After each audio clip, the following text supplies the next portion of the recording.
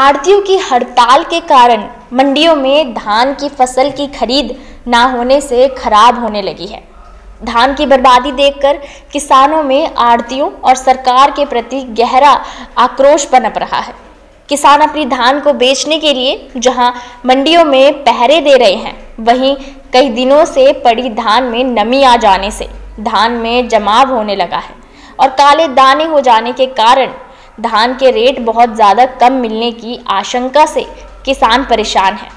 इस अवस्था में जहाँ धान का वज़न कम होगा, वहीं किसानों को इस धान का कम भाव मिलेगा।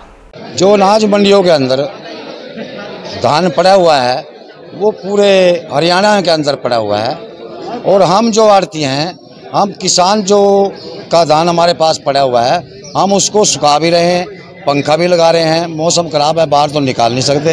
अंदर उसने रखने की व्यवस्था अपने पूरी तरीके से की है। क्योंकि किसान हमारा है हम किसान के हैं। और सरकार इसकी तरफ़ ध्यान नहीं दे रही है।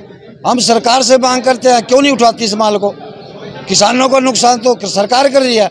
आड़ती से उसका रख रखाव कर रहे हैं। एक ढाई रुपए के ऊपर आड़ती उसका कितना बड़ा रख रखाव कर रहे हैं? यहाँ धान लेके आ रहे थे जी। अच्छा। बिकी है? ये बिकी नहीं आज चार पाँच दिन से ऐसे ही पड़ी है जी। और हम तो बहुत दुखी हैं इसे ये सरकार से भी दुखी हैं जी और ये जो मंडी में आड़ती बैठे इनसे भी दुखी हैं। ये जाम की है क्या क्या बात हो रही है? क्यों नहीं ये रही है? ये बरसात पड़ जी कई दिन से इसी कारण से जाम रही है जी। अच्छा या हड़ताल की वजह से कोई खरीद नहीं रहा इसको? हड़ताल की वजह से इसको को, कोई नहीं खरीद रहा जी इसको। बहुत परेशानियाँ जी। दिन रात को पहरा देना पड़ता है जी यहाँ पर।